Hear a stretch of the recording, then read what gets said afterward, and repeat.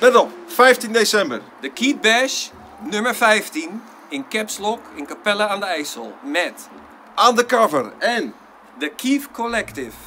Undercover bestaat 35 jaar. 35 jaar mensen. Een speciaal feestje. We spelen het album Some Girls.